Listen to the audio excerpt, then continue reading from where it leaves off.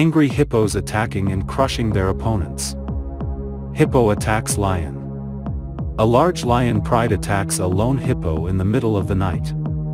The pride is made up of many females and subadults attacking from all sides, but the hippo is tough.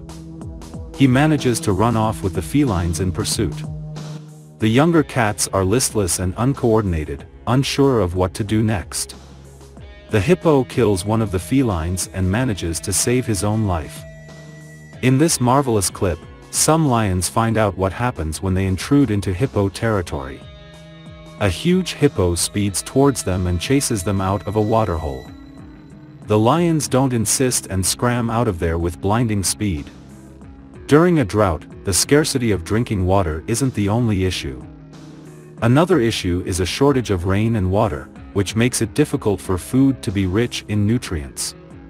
As a result, hippos become quite territorial, challenging animals they would ordinarily avoid, such as the lion in this video. This lion is not really looking for trouble, but the hippo wants the lion out of his territory. The waterline marks the boundary, and to cross it, he better be primed for battle.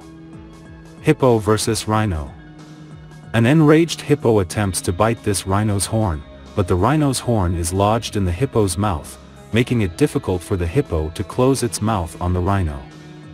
Nevertheless, the hippo charges and plows the rhino into the ground.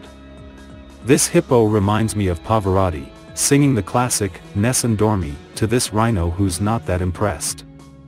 The presence of this rhino at their waterhole irritates these two hippos, who challenge him to a shouting contest, but the rhino remains calm and simply stands there listening to the hippo's high-pitched voice.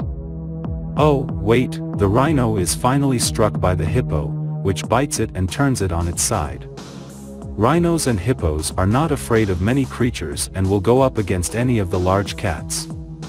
They are occasionally slain by a pride of lions, but this is rare because they are difficult to bring down and carry weapons of their own that can cause significant damage. But what happens when a rhino and hippo cross paths? It goes something like in this video. The hippo yells and the rhino just stand there, and usually, that's the end of that.